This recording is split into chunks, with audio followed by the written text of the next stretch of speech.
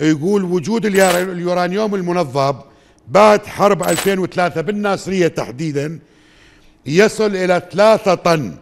هذا اللي تم حصره ب 36 قطعة مع الأتربة الملوثة. هاي القطع اللي تم حصرها ال 36 اللي سببت 3 طن تلوث. ال 36 قطعة بحوزة من الآن بالناصرية؟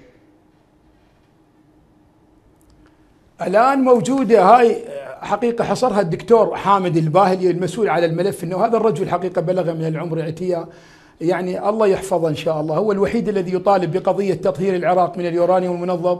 وأنا أحد اللجان أحد أعضاء اللجان مع الدكتور حامد الباهلي. هذه موجودة في الناصرية الآن. وموجودة ب 30 طن وضربت في آليات عسكرية ودبابات ومدرعات وبالتالي تركت في في في الصحراء موجودة لفترات عديدة وسنوات عديدة ثم وضعوا عليها حرس يعني شخص واحد للأسف الشديد شخص تركوه يعني الآن يحرسها وربما أن تلجأ لها أصحاب المواشي والرعاة وبالتالي تصير وهي صارت طبعا في يعني هو عديدة اولا صارت في اولا يا دكتور. هاتف حتى المعلومة تكون واضحة للمشاهد. هي اكتشف انه بها يورانيوم نعم، أستاذ منظم. وفيها إشعاعات نووية. زين شنو خلوا عليها حارس؟ ليش ما تم التعامل معها علميا؟ أما طمرها أما إخفائها أما معالجتها وفق الطرق العلمية. شنو حارس عليها؟ يعني هو هذا هي هاي المصيبة الكبرى إنه ماكو معالجة حقيقية، ماكو معالجة من قبل الدولة، هي موجودة الآن في البصرة هاي منطقة هم مطوقيها وخلاص. وفي البصرة طبعا صارت في متناول الناس وصارت أواني وصارت أ- اجهزه أجهزة منزلية وغيرها، عندك عندك المنطقة يعني هاي منطقة السنك هاي كلها مضروب باليورانيوم المنظم هذا المطعم التركي في مجاور وزارة التخطيط آه، في كسرة وعطش في النهروان في جسر ديالى في قريب من باب المعظم. هذه المناطق كلها مضروبة باليورانيوم المنظم وبالتالي آه، كانت هناك تقارير للأمم المتحدة. لابد عزيز أستاذ نجم معالجة وتطهير آثار اليورانيوم المنظم وفق المعايير الدولية يجب أن أن تكون من ضمن خبراء دوليين ومتخصصين كما حدث في أوكرانيا. يجب أن تطمر في آه، آه، يعني بقعة في في البحر تحت 303 متر. ولكن أن تبقى من سنة 1991 إلى الآن ومن 2003 و1999 ولا زالت في العراء وفي المناطق المضروبة هم ليش الآن ما يستغلون بعض البنايات لأن مضروبة. هسه أكو بعض الجنود ذولا مساكين طبعا. يعني في مناطق عديدة جاي يحرسونها وهاي وهي كلها لازم يبتعد عنها كيلومترات هاي المناطق. لم تتم معالجة حقيقية وين- وين الشديد الجنود يحرسوها؟ من قبل الدولة لآثار. وين هاي الحالة؟ يعني هسه هاي اللي قلت لك عليها بالناصرية في عداية في الموصل في في الجزيرة عندك في مصنع الصلب في البصرة آه، عندك في في في ميسان في الديوانية أكو حتى في السليمانية وأربيل.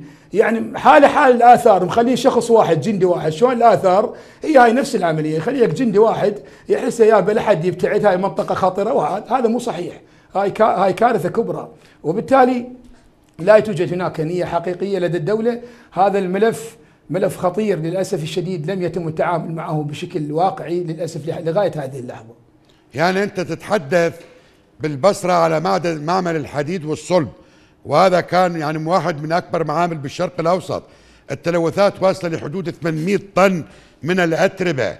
يعني تعرف شنو إيش قد إيش قد 800 طن من الأتربة؟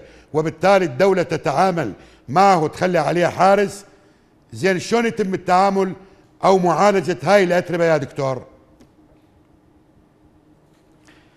كل كل هذا الملف أستاذ نجم عزيز هاي أبلغ به المشاهدين حقيقة وللدولة للأسف الشديد.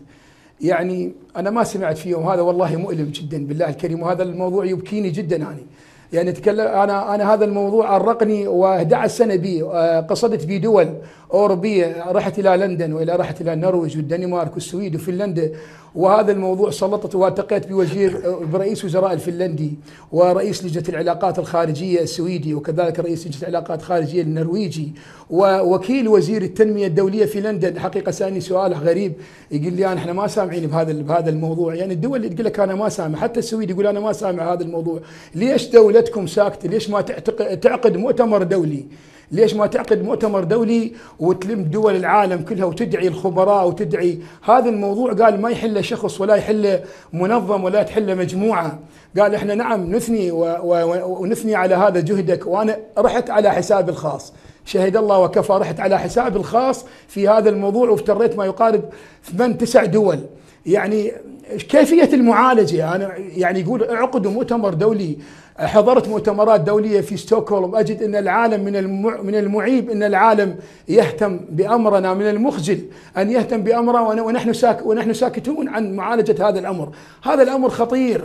هذا الأمر يعني يعني اليورانيوم ضرب المناطق العراقية من أقصاها إلى أقصاها من الشمال إلى الجنوب. ليش هذا السكوت؟ ليش هذا ليش ما تت يعني تتعاملون بشفافيه مع مع مع بلدكم؟ يعني مو صحيح السكوت عن هذا الموضوع.